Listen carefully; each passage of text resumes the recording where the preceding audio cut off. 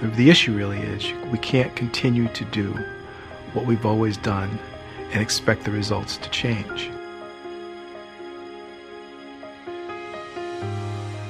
We have to do things differently. We have to redesign. We have to think differently. We still struggle to find that magical formula. And it's not a silver bullet, it's a series of things I feel that if we came up with the answers for those, then of course we would know how to basically educate young people that may not have had the same opportunities early on in their lives. This is an opportunity to do that.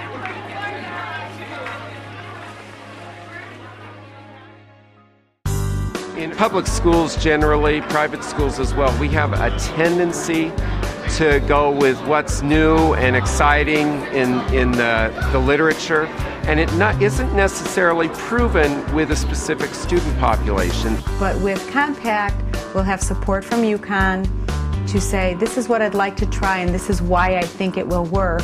We're looking forward to being research based and you know, not trying to reinvent the wheel all the time. And we do need this evidence-based research to coincide with the type of school that we have here. We have been fortunate enough to have a, a grant from NEA Foundation, which will support the research. And this will certainly help, I think, because those things that we find are important, those things that are successful, yes, we do want to share those with others. Once we begin to gather data and once we begin to get information to start to show people that, hey, this approach works, I think what will be at stake is our ability to maybe even redefine the state of education in our district and in our state.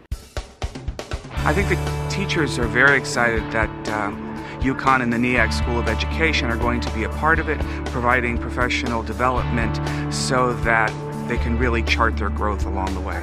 If you are part of research that, you know, changes how we teach and more effective and um, it's exciting. It's very exciting. I think it's exciting to be in on the ground floor of what could be a whole change in how we view not only urban education, but education as a whole.